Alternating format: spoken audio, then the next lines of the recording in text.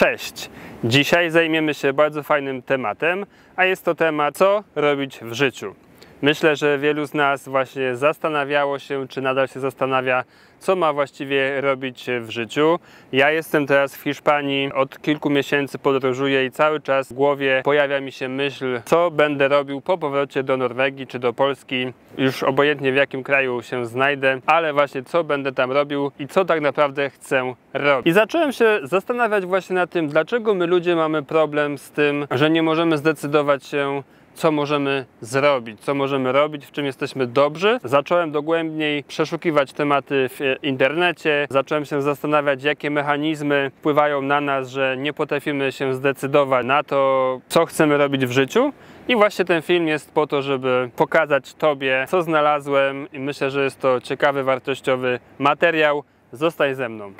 Dzisiaj zanurzymy się w fascynujący świat poszukiwania sensu życia oraz odpowiedzi na pytanie, co robić w życiu. Ten film nie jest tylko o udzieleniu jednoznacznych odpowiedzi, ale o zrozumienie, dlaczego to pytanie jest tak ważne i jakie czynniki wpływają na nasze decyzje życiowe. Rozważmy wspólnie, dlaczego to pytanie jest szczególnie trudne dla młodych ludzi, jakie wyzwania przed nimi stoją i jakie czynniki wpływają na ich decyzje życiowe. Przekroczmy granice standardowych odpowiedzi i spójrzmy na problem z różnych perspektyw. W trakcie tego filmu odkryjemy, jak presja społeczna, brak doświadczenia życiowego czy nawet wpływ mediów społecznościowych kształtuje nasze myśli i decyzje. Nie jestem tutaj po to, aby podać Wam gotowe odpowiedzi, ale po to, żeby zainspirować Was do zastanowienia się nad własnymi celami, pasjami i wartościami. Obiecuję Wam fascynującą podróż po wewnętrznym labiryncie, który prowadzi do odkrycia własnej ścieżki życiowej. Czy będziecie gotowi na głęboką refleksję? Zatem proszę, zanurzcie się razem ze mną w tę niezwykłą podróż. Powszechne pytanie, które wielu z nas zadaje sobie w różnych momentach życia brzmi: co robić w życiu? To pytanie, choć proste pozornie, może stanowić ogromne wyzwanie, zwłaszcza dla młodych ludzi stających na progu dorosłości.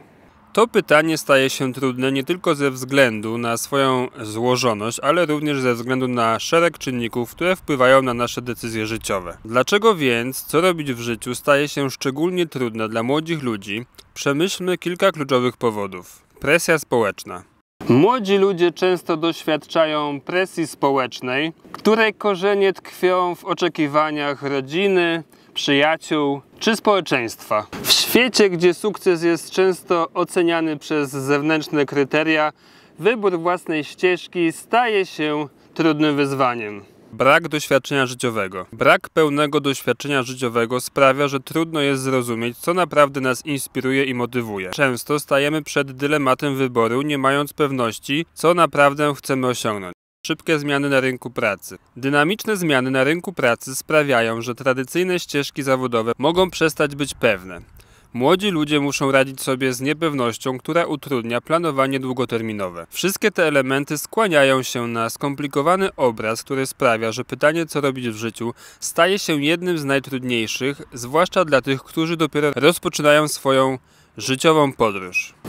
W następnych minutach zajmiemy się głęboko zakorzenionymi przyczynami tego pytania oraz poszukamy inspiracji i praktycznych wskazówek, które pomogą młodym ludziom znaleźć swoją własną ścieżkę życiową. Czas wyruszyć na ekscytującą podróż samoodkrycia. Kolejnym obszarem, który często stwarza rozwdzięk na poszukiwanie odpowiedzi, co robić w życiu, jest rozbieżność między oczekiwaniami studiowania a, rzeczywistością rynku pracy. Tak więc, widzowie, jak studia kształtują nasze wybory? Porównanie oczekiwań ze studiów a rzeczywistość.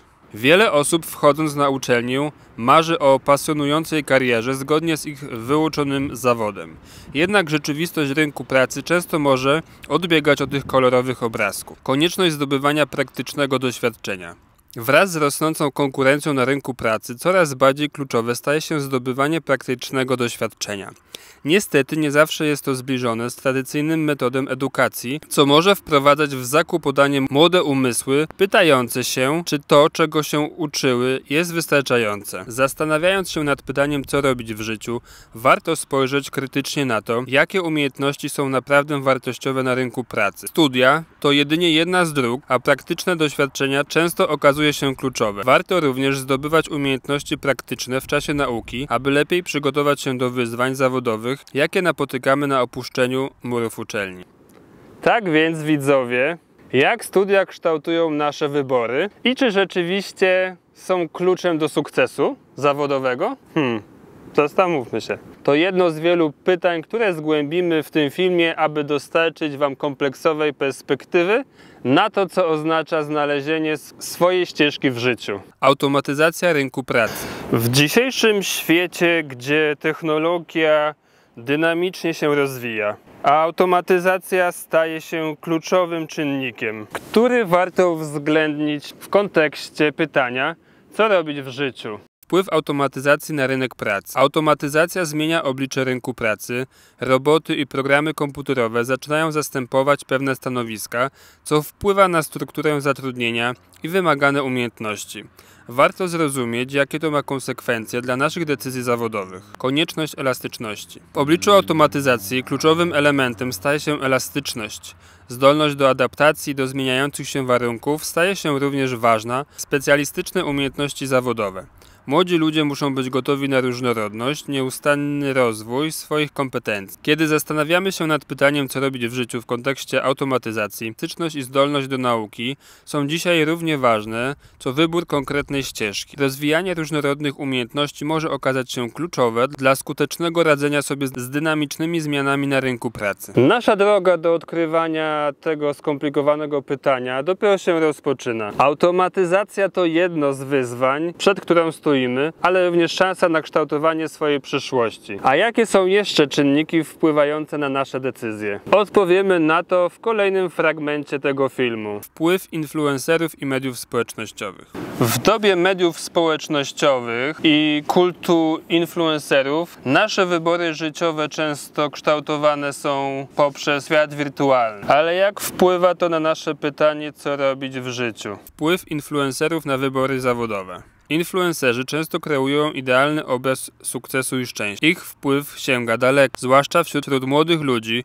którzy często kierują się tym, co widzą online. Jednakże, czy to, co widzimy, zawsze odpowiada rzeczywistości? Różnice między obrazem a rzeczywistością. Warto zauważyć, że to, co widzimy w mediach społecznościowych, często nie odzwierciedla rzeczywistości. Sukces, który tam promuje się jako łatwy do osiągnięcia, może być rezultatem wielu ukrytych wysiłków, trudów i czasu, o którym nie mówi się publicznie. W kontekście mediów społecznościowych i influencerów, odpowiedź na pytanie, co robić w życiu, wymaga zdolności do rozróżnienia między obrazem a rzeczywistością.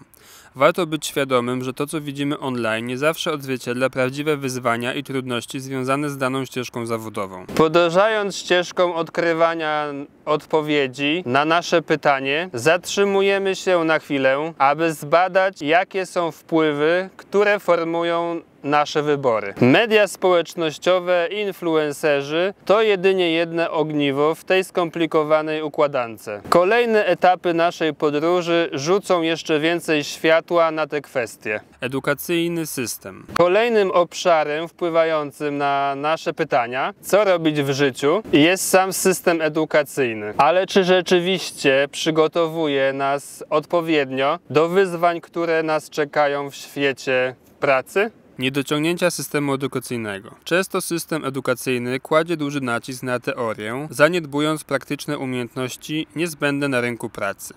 Warto zastanowić się, czy, czy nasze edukacyjne fundamenty są wystarczająco solidne, by skutecznie odpowiedzieć na pytanie, co robić w życiu. Propozycje na poprawę przygotowania do świata pracy. Aby poprawić elastyczny system edukacyjny, kluczowe jest wprowadzenie praktycznych elementów do procesu nauki.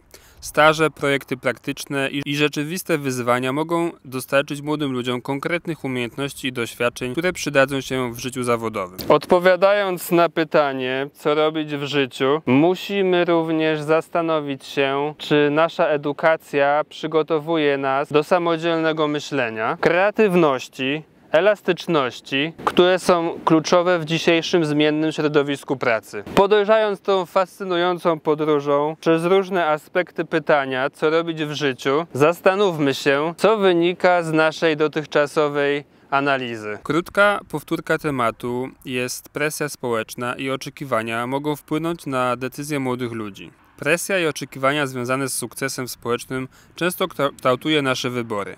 Jacyś z Was mogą czuć, że muszą podążać konkretną ścieżką, nawet jeśli niekoniecznie jest to zgodne z ich prawdziwym pragnieniem. Rzeczywistość studiów i rynek pracy. Widzieliśmy, jak oczekiwania związane ze studiami często nie pokrywają się z realnym rynkiem pracy. Kluczem staje się elastyczność i zdolność do adopcji w obliczu zmiany. Wpływ mediów społecznościowych i influencerów. Influencerzy i media społecznościowe mogą być inspirujące, ale ważne jest, aby pamiętać, że to co widzimy jest często jedynie wierzchołkiem góry lodowej. Rzeczywistość może być y, bardzo bardziej złożona niż perfekcyjne kadry na Instagramie czy YouTube. Wpływ automatyzacji i systemu edukacyjnego.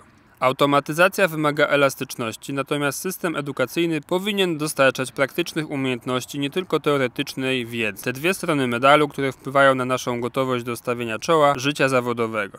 Dziękuję, że podzieliliście się swoją chwilą refleksji na temat pytania, co robić w życiu. Teraz pora na Wasze myśli i doświadczenia. Chciałbym Was zachęcić e, do podzielenia się swoimi przemyśleniami w komentarzach pod tym filmem.